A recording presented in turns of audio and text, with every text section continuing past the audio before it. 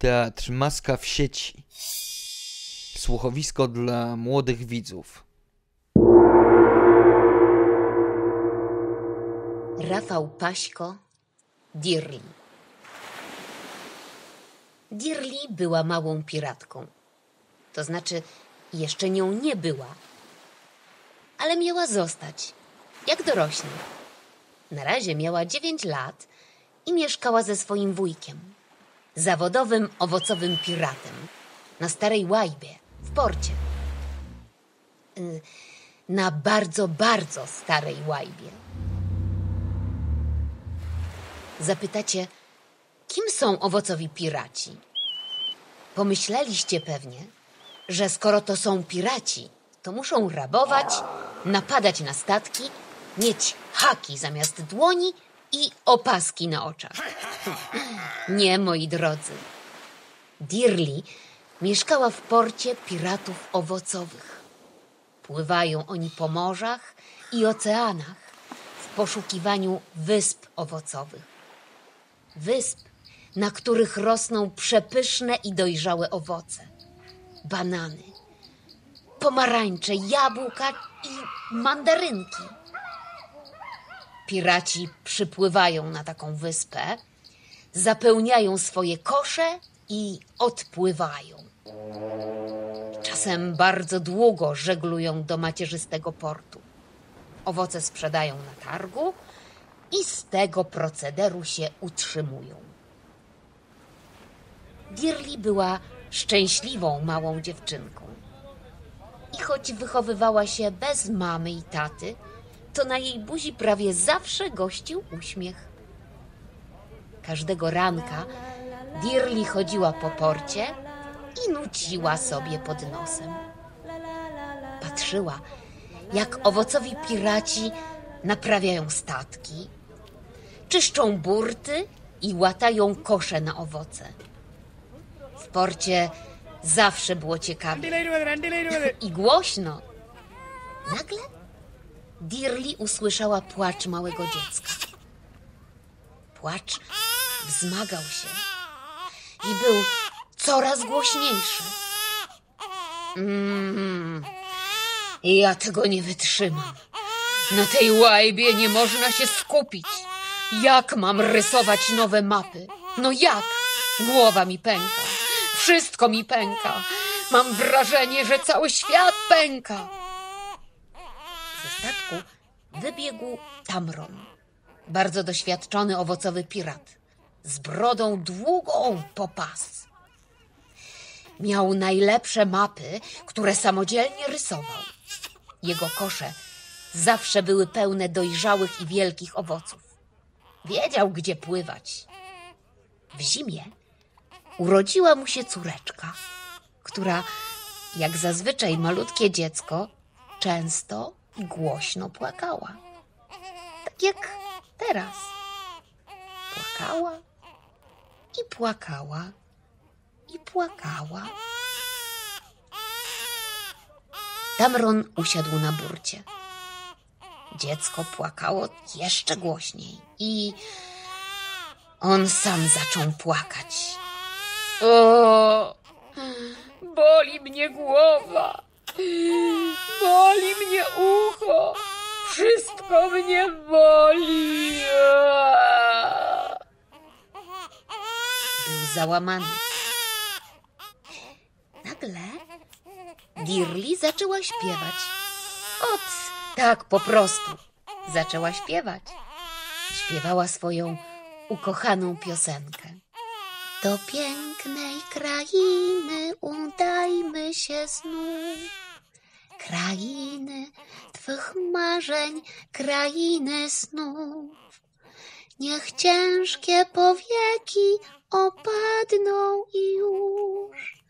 Żeglujmy dziś razem, oczka swe zmruż. Płacz dziecka ucichł. Po chwili ze środka statku wyszła rozpromieniona żona Tamrona z dzieciątkiem na rękach, które słodko spało. Ozłocę cię, mała dziewczynko, szepnął głośno Tamron. O złoce! Nikt nie potrafił jej uciszyć. Tylko tobie się udało. Złota mi nie potrzeba, ale możesz podarować mi jedną z twoich map. Odpowiedziała rezolutnie Dirli. Bierz, którą chcesz. Niech cię prowadzi po morzach i oceanach, rzekł uradowany. Już miał podać Dirli plik z mapami, ale na chwilę zamyślił się, po czym dodał. Dam ci pod pewnym warunkiem. Zbliżył się i szepnął Dirli do ucha. Dirli skinęła głową, że się zgadza na propozycję. Naucz tej piosenki moją żonę. Tamron nie przestawał szeptać. Bał się, że obudzi swoją córeczkę. Wtedy będę w spokoju mógł rysować moje mapy. Hm, dobrze, dziś wieczorem ją nauczę. Odparła Dirli i jak rzekła, tak zrobiła. Tę piosenkę nauczyła Dirli jej mama. Pamięta, jak razem z tatą śpiewali ją każdego wieczoru przed zaśnięciem. To było dawno temu. Jej rodzice kilka lat temu wypłynęli w poszukiwaniu wyspy Mango. Wyspy, na której miały rosnąć boskie owoce. Tak, ze względu na właściwości odżywcze i piękny zapach, nazywano w porcie owoce mango. Niestety, rodzice nie wrócili z podróży.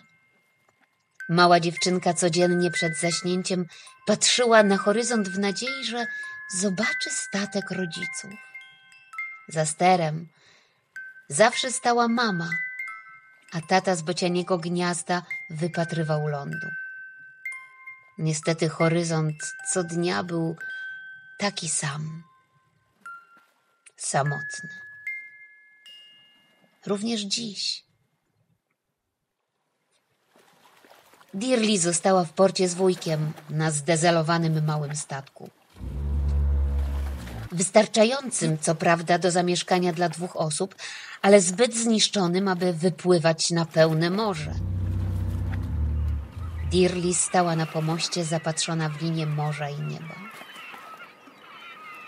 Słońce chyliło się ku zachodowi. Dirli przypomniała sobie, że w ręku ma mapę od Tamrona.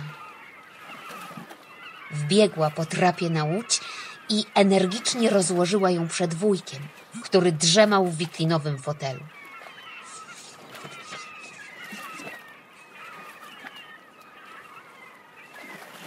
Zobacz, mam mapę. Rysował ją Tamron.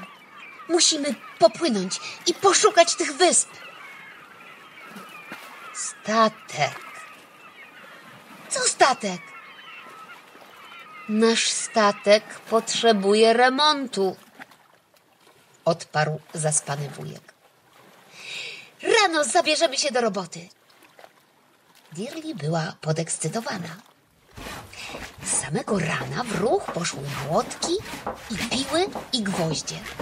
I pojawiła się też żona Tamrona, która pomogła zszyć uszkodzone żagle. Była bardzo wdzięczna, że Dirli nauczyła ją usypiającej piosenki. Pod koniec dnia statek, co prawda, nie wyglądał jak nowy, ale nadawał się do wypłynięcia na pełne morze. Mm, jeszcze trzeba mu nazwy, powiedział dumny z Dirli wujek. Mango będzie nazywał się Mango, stwierdziła stanowczo Dirli. No, ty tu rządzisz, kapitanko. Wujek zasalutował i pokręcił głową z uznaniem. Nazajutrz wypłynęli. To były wspaniałe trzy dni. Statek dziarsko pruł fale, a mapa prowadziła ich do wysp obfitujących w dojrzałe i wielkie owoce. Byli szczęśliwi. Śmiali się do siebie i zajadali przepyszne zbiory. ich magazyny pod pokładem i kosze były pełne. Mapa Taurona była wyjątkowa. Kiedy nawigowali już do portu, nagle na pełnym morzu Dirli usłyszała znajomą melodię. Nie wierzyła własnym uszom.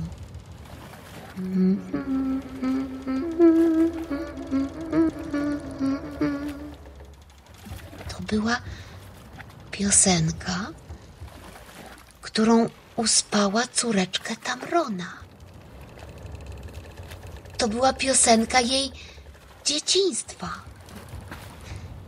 To była ta piosenka. Wymieniła z wujkiem spojrzenie i bez słów pożeglowali w stronę, z której dochodził dwugłosowy dźwięk. Wydawało się, że mango, któremu Dirli zmieniła kurs, płynęło jeszcze szybciej w kierunku małej wyspy, z której dobiegała melodia.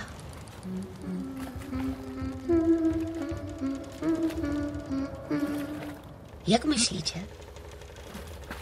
Co Dirli i jej wujek znaleźli na wyspie?